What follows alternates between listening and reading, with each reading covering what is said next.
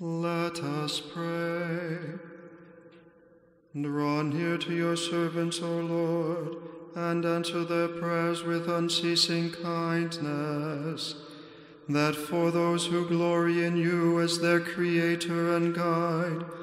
you may restore what you have created and keep safe what you have restored. Through our Lord Jesus Christ, your Son, who lives and reigns with you in the unity of the Holy Spirit, one God forever and